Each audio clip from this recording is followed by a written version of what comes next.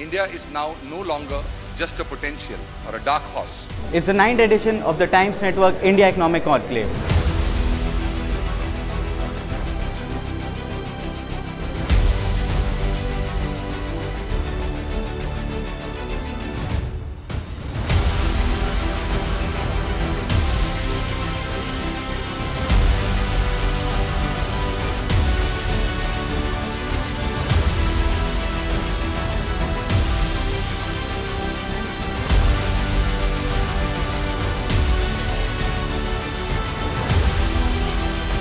India has always been poised for greatness due to the sheer size of our economy and the law of averages which had to catch up eventually.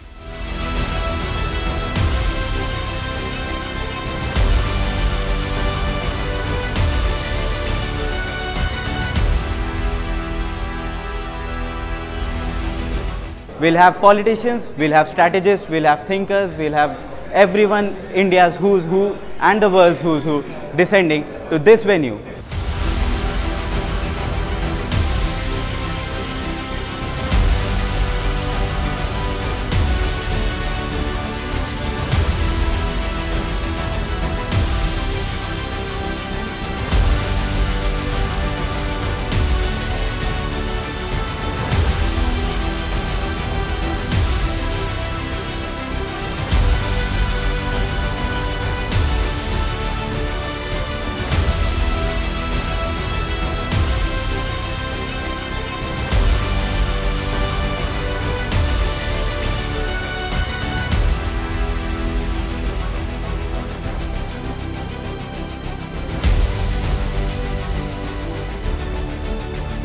What was needed actually was perseverant effort and a peaceful society determined to keep improving its existential condition. And that is something that our government has been able to provide over time. And certainly in the last eight to 10 years, it has been a very, very strong and good period for us.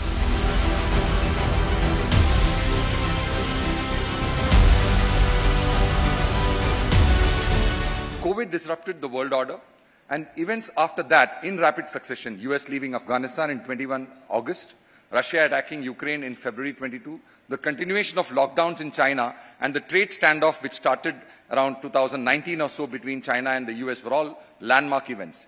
Amidst all this, when most national and regional economies were being bruised and battered by inflation, pandemic, energy shortage, war, and even the unheard of headlines of nuclear threats in Europe, India was quietly jogging at its usual pace, recording 7% growth.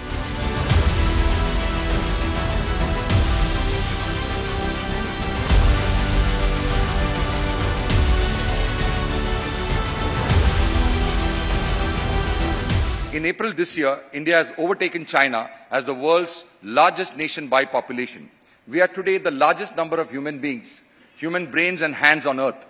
And we will be this way for the foreseeable future, a hundred years down the line, maybe even a 500 years down the line.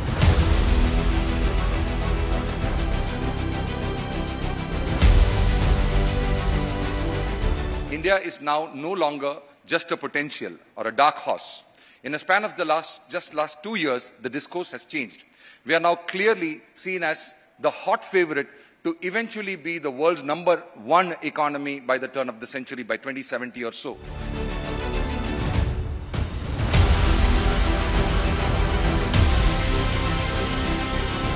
The war in Ukraine and China's belligerent stance on our northern borders has only tilted global power equations in our favor.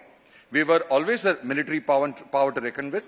The events of the last few years have only worked in our favor and motivated us to build our muscle in that side also. The Indian innings is beginning here. Number one population, rapidly rising, number five economy, number four military, in a multipolar world, the critical Indian Ocean region needs and deserves a mature stabilizing factor. The world needs an alternate production hub. India is already all that and more.